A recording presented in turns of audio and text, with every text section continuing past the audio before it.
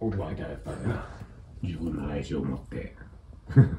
娘同様に一応育てとるわけやでさ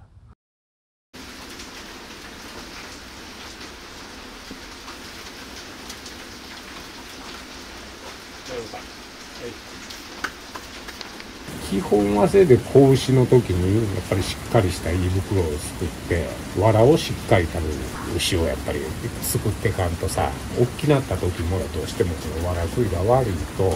練りを噛むっちゅう行為がな少ななるもんでやっぱり練り噛む牛やないと健康やないしさ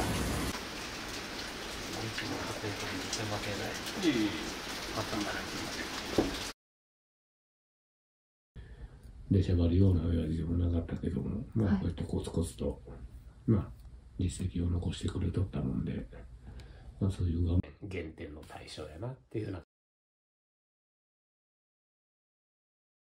最初の子なんていうのは本当に牛のことだけと違って田んぼのことでもさ自分が主体となってやるっていうことになったらさ今まで親父がやっとったわけやけども全部自分がせんならわけやんかな。で、やっぱりノウハウっていうのがやっぱり牛にしろ、あの米作りにしろさ。で急に言ってしまうとさ、少々のことは聞いとったとして、ノウハウ云々ちゅうなところまでさ、本人はな急にな、自分死んでしまうとは思ってへんだよし。まあ、最初すべてがもう手探りっていうか、